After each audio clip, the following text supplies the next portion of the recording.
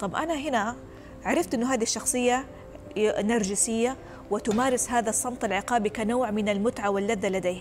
أنا كيف أكسره؟ أنا كيف اجعله هو الضحية ويشعر بنفس الإحساس اللي خلاني أشعر فيه؟ هو أجمل شيء بصراحة أيوة. إنك تتعاطفي مع الشخص اللي عنده أي مرض نفسي أو مشكلة نفسية لأنه فعلا مش مش مبسوط ومش سعيد.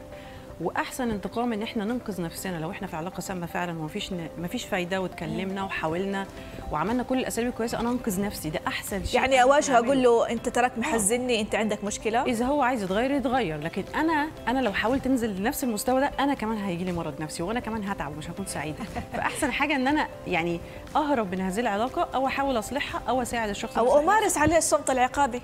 أيضا أنا أنا مش هكون مبسوطة. لو أنا إنسانة سوية. مش هكون مبسوطة. إلى أن يقضي الله. أنت إيش رأيك أسامة؟